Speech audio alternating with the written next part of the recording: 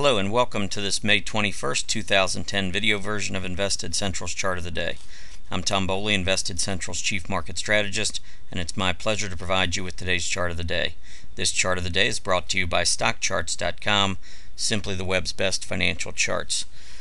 Well, today we're looking at uh, gold relative to the S&P 500, and I've gone back a decade just to give you um, a little bit of a history here in terms of how gold has outperformed the S&P 500. So all we're doing here is taking the price of gold and dividing it by the S&P 500. You can see back early in the 2000s, uh, we were at about one fifth. Gold was about one fifth of the S&P 500, and now with gold up close to $1,200 an ounce and the S&P 500 beneath that, we've actually seen this ratio rise to over one.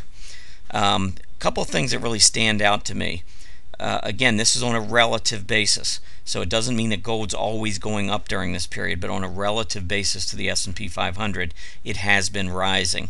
But take a look at these moves to the upside. Uh, there have been a few parabolic type moves on a relative basis. Uh, 2000 to 2003, early 2003, we had a big move up and then we went sideways where the where gold kind of out, uh, underperformed or maybe just kind of equally performed with the S&P 500 and then we had a breakout to the upside a relative breakout.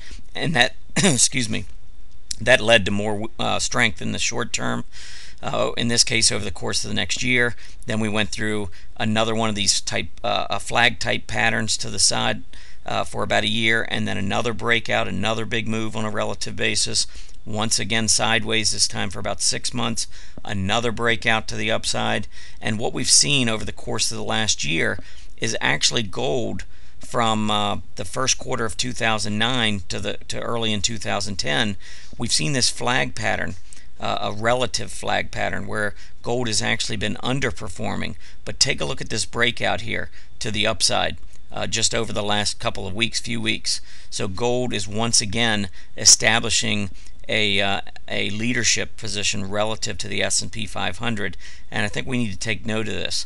Um, the other thing is take a look at the relative MACD, which is the moving average convergence divergence. Each time we have seen the MACD start to point higher, that's coincided with some very nice action uh, to the upside in the uh, relative performance of gold. Notice what's taking place right now as we made this breakout, this relative breakout out of this flag. Notice the MACD has come back above the center line and is pointing straight up.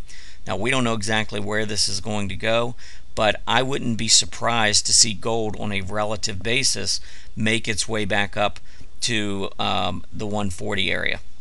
Now if you believe in this relative ratio, then one way to play it is if you like to play pairs is to simply be long gold and short the S&P 500. Um, you know that way, uh, you know, you, on a relative basis, if gold outperforms, even if they're both going up, if gold is outperforming, that strategy should net you a profit. Um, we're not really big into doing the pairs, but I know that that is a trading strategy that a lot of folks like.